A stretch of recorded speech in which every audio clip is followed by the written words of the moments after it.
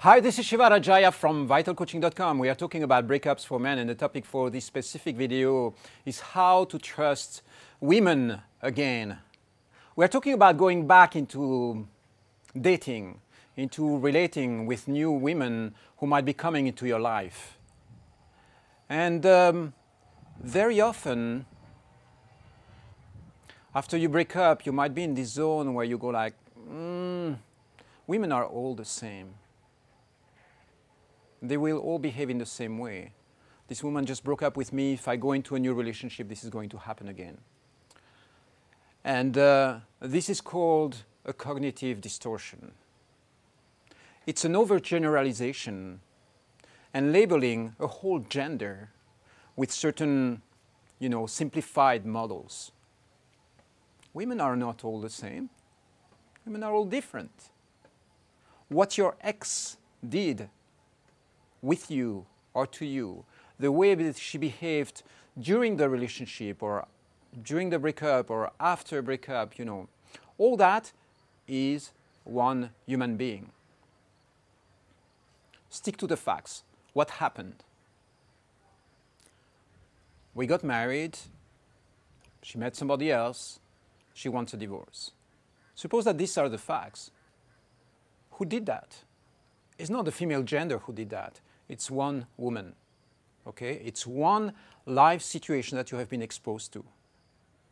And so if you overgeneralize, what's going to happen is that you're going to create stories about your life and your possibilities which are not true. They're simply not true. When you overgeneralize, you're telling to yourself things that are not true. The truth is stick and go back to the facts. And the fact is, one woman and you, some things happen between two human beings. And so, what's very important when you go back into the dating game is to come to a new woman in your life with a fresh view, emotionally, energetically clear. You don't want to be sitting in front of this woman and be like, my ex did that to, to me, my ex is a woman, you're a woman, you're going to do that to me. No. Imagine how it feels if a woman comes to you and says, You guys are all the same. You know, my ex cheated on me, I'm sure you will cheat on me as well.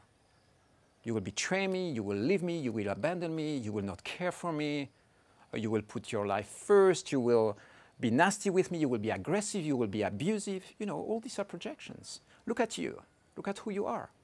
You're a nice person. You're a beautiful human being. Where do all these projections come from? So you don't want this in your field. It doesn't feel good. It doesn't feel nice when somebody meets you and they already have a whole story about who you are and what you're going to do. And so what I encourage you to do is check this self-talk, check this inner game that you are into. What are you thinking about women? You know, here's the mindset. Women are beautiful. I love having women in my life. This is something that you can remember. You love having women in your life. If you go like, women are nasty, they are dangerous, they betray you, they lie, you know, if you tell that story to yourself, guess what's going to happen? Exactly what you're attracting. You get more of what you focus on. You get more of what, what you repeat to yourself. And so if you want to create a very clear, beautiful story for your future and go back into the dating world with a fresh perspective, with lots of new tools, new ideas, and lots of enthusiasm and a clear space, clear emotional space, you have to understand your self-talk around women. And the self-talk, if you want to attract a new lover, a new potential wife into your life, this self-talk needs to be positive is to be a positive inspiration. It's to be coming from a place where I love having women in my life. You see a woman, you go like, wow, it's exciting to see you. You don't go there charged, yeah, you're a woman, I don't trust you. All women are the same, I don't trust you. I, I, know, I know what you're thinking. I know how you behave. I know what you will do to me. I know, I know all that. I've been with a woman before. All women will do all the same. So you see the difference of self-talk. You look at this woman, you say, wow, you're beautiful. Look at you, you are flowing with your life. I love being in your presence. I love how you look, I love your smile. You know, you're fantastic. Let's get back together. Let's meet each other. You know, this is the, the idea behind that. It is that how to trust women again, it's very simple. I trust women. You repeat that. This is your mantra. This is your thought pattern that you want to embody and embed into your system. You don't want to come into you, to this field of dating with nastiness and charged emotion and digested stuff in your system, stacked traumas in your field. So one of the places where you can activate this positive relationship that you want to have with women is in your self-talk. You start there. You start listening to the conversations that you have with your friends. How do you relate to women in your life? How do you communicate with them? You want this space to be flowing and positive. This is a general idea. So it's not just trusting.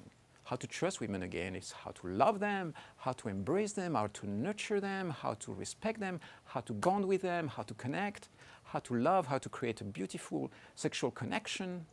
You know, all these things are things that are within your range. We are not talking about rocket science. We're talking about consciously designing the relationship or the dating or the love space. What are the thought forms that you want to have in there?